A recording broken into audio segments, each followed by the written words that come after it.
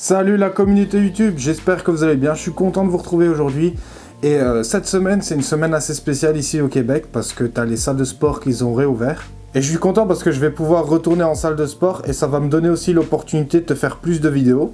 Et aujourd'hui dans cette vidéo, je vais te parler d'un challenge que je me suis fixé, enfin que j'ai envie de réaliser parce que ben voilà, on a subi ici euh, au Québec, ça fait euh, on a subi 5 mois de confinement. Si ma mémoire est bonne, je pense que les salles de sport ont fermé début octobre euh, et ça a réouvert ici fin mars, donc le 26 mars.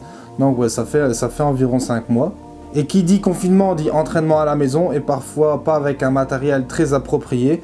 Euh, dans mon cas, j'avais juste, un banc inclinable avec euh, des haltères de 10 kg que je pouvais ajuster et des haltères de 15 kg. Bon, c'était déjà mieux que rien, mais ça ne me permet pas de faire un entraînement complet et intensif. Et du coup, l'aspect physique est moins volumineux et les performances sont diminuées. Mais bon, tout ça maintenant c'est de l'histoire ancienne, on va se concentrer sur le futur. Et donc le futur, c'est quoi? J'ai envie de me lancer un challenge euh, parce que durant, durant le confinement, j'ai perdu, euh, si ma mémoire est bonne, je crois que j'ai perdu 5-6 euh, kilos. Ben, je me suis, attends, je me suis pesé ce matin.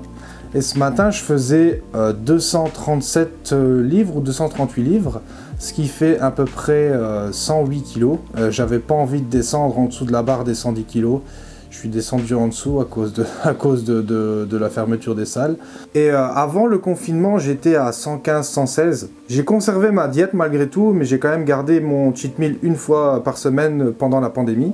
Et donc maintenant j'ai un nouvel objectif, et cette, cette nouvel objectif ça va être de retrouver mon physique que j'avais avant, et aussi de remonter au niveau du poids parce que j'aimerais bien, j'aimerais bien à, 118 kg, là je serais content. Et d'ailleurs j'ai fait quelques prises vidéo pour te montrer un petit peu mon, physique actuel.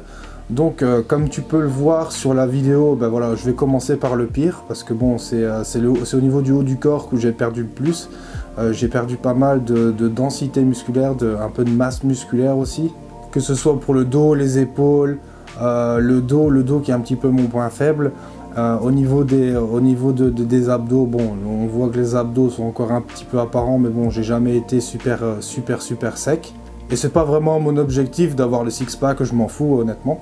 Donc là, mon objectif, ça va être de reprendre du volume et de la densité musculaire au niveau du haut du corps. Et en ce qui concerne les jambes, donc je vais te mettre une vidéo qui va s'afficher. On va dire que c'est là où j'ai été le plus chanceux parce que ben, les jambes, c'est mon point fort. Je pense que génétiquement, je, suis assez euh, chanceux d'avoir des bonnes jambes. Bon, malgré tout, bon, il y a quand même encore une, une masse musculaire euh, assez importante, mais j'ai quand même perdu en définition musculaire. Donc voilà, c'est un petit peu la situation actuelle en ce qui concerne mon physique.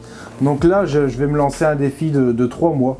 Et dans 3 mois, on va faire un bilan. C'est-à-dire que dans 3 mois, mon objectif c'est de remonter euh, au niveau du poids sur la balance. J'aimerais atteindre les 118 kg et j'aimerais euh, conserver une masse musculaire assez propre, comme tu peux le voir un petit peu euh, sur les vidéos que je t'ai envoyées, mais un petit peu plus volumineux et avec une meilleure densité. C'est un défi qui va pas être facile, mais je sais que je peux y arriver assez facilement parce que maintenant j'ai toutes les bonnes conditions réunies pour atteindre cet objectif. Alors je vais pas faire vraiment de bilan au bout du premier mois ou du deuxième mois. Je préfère vraiment faire un, bilan total à la fin des trois mois pour vraiment voir la différence du avant et après. Mais je prévois quand même de te faire des vidéos euh, en salle de sport pour te partager un petit peu mes ressentis au niveau de l'entraînement. Et d'ailleurs en parlant d'entraînement, euh, j'ai euh, repris mon premier entraînement hier et je me sens je pense que là, les, deux, premières semaines, ça va être difficile. J'ai mon corps qui est courbaturé de partout. Mais bon, ça fait partie du jeu et ça fait partie du challenge. Donc j'ai vraiment hâte d'arriver à la fin de ces trois mois et de voir le résultat. Donc voilà, ben, si tu as envie de me suivre dans ce challenge, je t'invite directement à t'abonner à cette chaîne YouTube. Et si cette vidéo t'a plu, n'hésite pas à liker et à partager. Et quant à moi, je te dis à la semaine prochaine pour une nouvelle vidéo. Salut